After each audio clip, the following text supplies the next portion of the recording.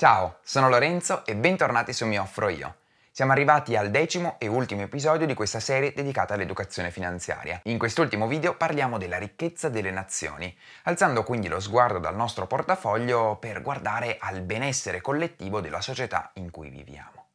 Saprete sicuramente che l'indicatore più utilizzato, l'indicatore per eccellenza della ricchezza di un paese, è il prodotto interno lordo, che è per definizione il valore dei prodotti e dei servizi realizzati all'interno di uno Stato in un determinato periodo di tempo, solitamente in un anno. Come diciamo dall'episodio 1, il valore di un bene o servizio è determinato dal punto di incontro tra la domanda e l'offerta ed è per questo motivo il valore di scambio.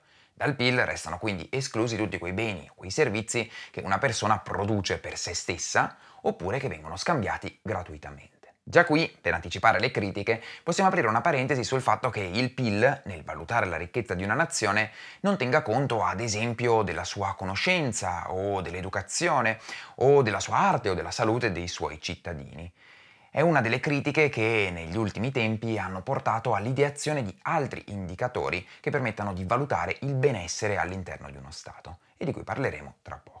Fatemi però dire, da scienziato, che qualunque indicatore possiamo ideare non potrà mai misurare la bellezza di un paesaggio o la felicità oggettiva dei cittadini. Questo perché sono quantità mal definite, che non possiamo tradurre in numeri. Il compito dell'economia è invece quello di trattare delle quantità che possono essere manipolate matematicamente. Dicevamo comunque prodotto interno lordo, dove lordo si riferisce al fatto che dal computo totale non viene sottratta la perdita di valore dei macchinari o delle tecnologie utili alla produzione, come ad esempio i software, dovuta all'usura o all'obsolescenza nel corso del tempo e che viene chiamata ammortamento, un termine che ha un significato leggermente diverso rispetto a quello che abbiamo visto nello scorso episodio relativo ai finanziamenti. Il calcolo del PIL può essere fatto in tre modi diversi, che a meno di approssimazioni danno, tutti e tre, lo stesso risultato. Il primo metodo è il metodo dei redditi, cioè si sommano in un determinato periodo di tempo, che è appunto generalmente un anno, tutti i redditi generati da famiglie e imprese all'interno dello Stato. Come abbiamo visto nell'episodio 6, i redditi possono avere natura diversa, possono essere redditi da lavoro dipendente o da lavoro autonomo, redditi da capitale o redditi fondiari o redditi appunto di impresa.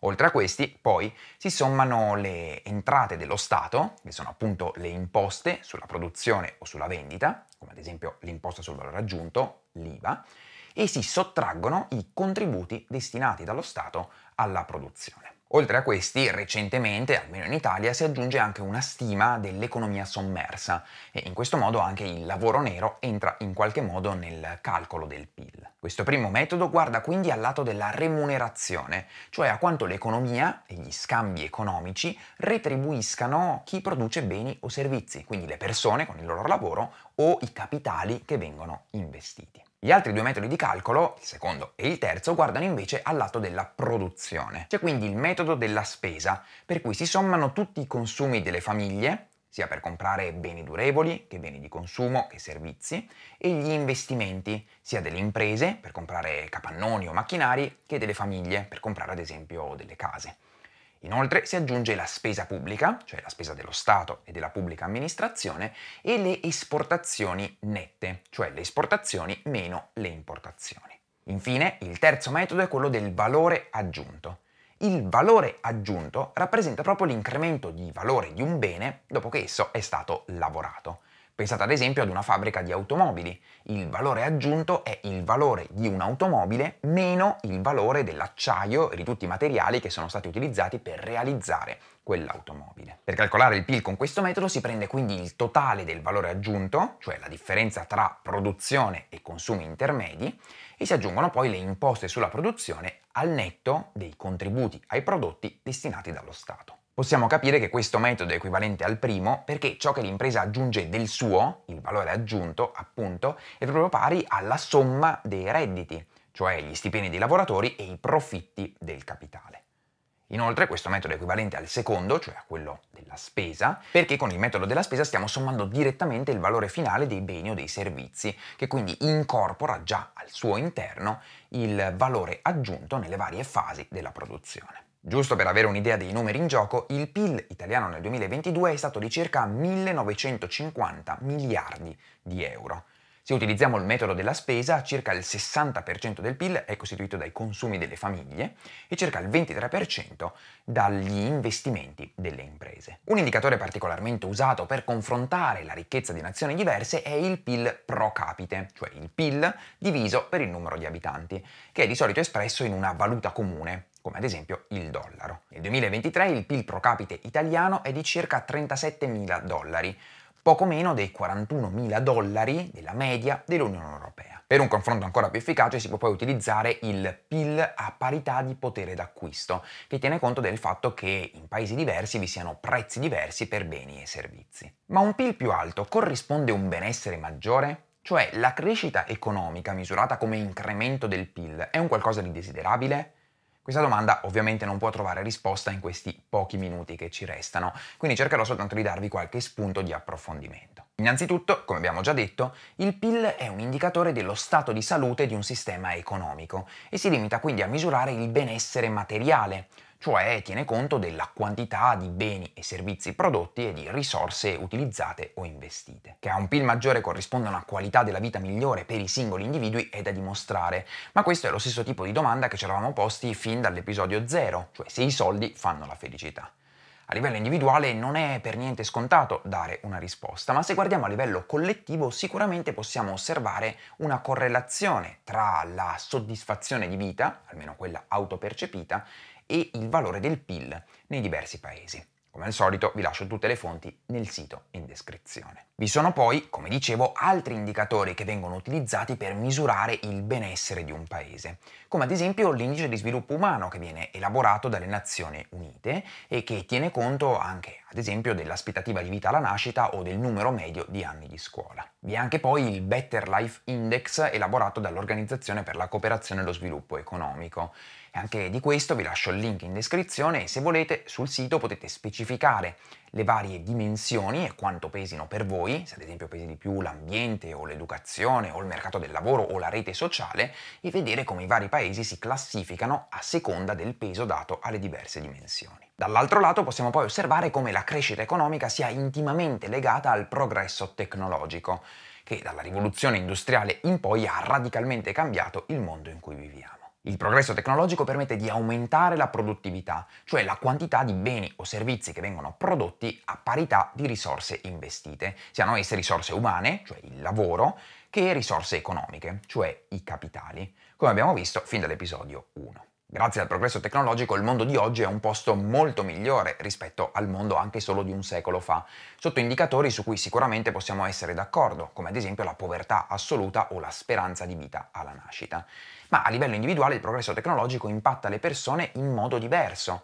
Ci sono persone che rimarranno disoccupate a causa del progresso tecnologico perché i loro impieghi diventeranno obsoleti e altre persone che invece al contrario potranno cogliere le opportunità offerte da nuove tecnologie e quindi mettere a frutto delle abilità differenti. La tecnologia causa cambiamenti strutturali nella società e armonizzare il progresso tecnologico con la crescita economica è uno dei compiti principali della politica. Così come la scienza in generale, l'economia offre gli strumenti per comprendere la realtà, ma poi la decisione di cosa fare con questi strumenti è una decisione squisitamente politica allo stesso tempo siamo noi, come cittadini ed elettori, in una democrazia ad avere influenza sulle scelte politiche e quindi sul nostro futuro. Con questa consapevolezza possiamo quindi guardare al dato della crescita economica in Italia ed osservare come il nostro paese negli ultimi vent'anni non sia praticamente cresciuto per niente, al contrario ad esempio di Francia o Germania, che sono paesi europei con economie molto simili alla nostra. La mancata crescita è ritenuta uno dei fattori di fragilità del nostro paese ed anche uno dei motivi che causa una scarsa fiducia nelle prospettive future, specie in quei giovani italiani che decidono di emigrare. Tra i motivi di questa mancata crescita possiamo citare, come abbiamo già detto nello scorso video, l'enorme debito pubblico italiano che si è andato ad accumulare fin dalla fine del secolo scorso e che oggi ammonta a circa il 135% del prodotto interno lordo. Ma alla mancata crescita contribuisce anche la scarsa propensione all'innovazione tecnologica nel nostro paese, che si vede dal fatto che investiamo pochissimo nella ricerca, o ancora allo squilibrio tra le competenze offerte dai giovani laureati e quelle invece richieste dal mercato del lavoro. Inoltre, la lentezza della giustizia civile e l'inefficienza della pubblica amministrazione italiana fanno sì che l'Italia non sia un paese particolarmente appetibile per chi decida di investire facendo nascere delle nuove attività economiche. Ripeto, ancora, che è compito della politica dare una soluzione a questi problemi. Ed è quindi con questa riflessione che si conclude questa serie dedicata all'educazione finanziaria. Spero di avervi dato gli strumenti, se non li avevate, per orientarvi un po' meglio nel mondo dell'economia e della finanza, dal capire cosa fare per le proprie scelte di investimento al capire perché il valore dei nostri soldi diminuisce a causa dell'inflazione. E spero anche di avervi un po' incuriositi sull'argomento per andare ad approfondire voi stessi. Ma spero soprattutto di avervi trasmesso quel senso di responsabilità di cittadini che prendono parte alle decisioni politiche del proprio paese perché se è vero che i soldi non fanno la felicità a livello individuale, è anche vero che una società economicamente avanzata è una società in cui tutti hanno più possibilità di realizzarsi e di stare bene. Questo era tutto quanto volevo dirvi in questo decimo e ultimo video di questa serie dedicata all'educazione finanziaria. Grazie per avermi seguito, grazie per essere arrivati fino a qui per aver tenuto duro. Per ogni dubbio, domande, chiarimenti, critiche, come al solito vi aspetto nei commenti e come al solito trovate tutte le fonti in descrizione. Condividete, se vi va, questa serie con i vostri conoscenti, con le vostre amiche, con i vostri amici e iscrivetevi al canale se ancora non l'avete fatto. Grazie e noi ci vediamo al prossimo video.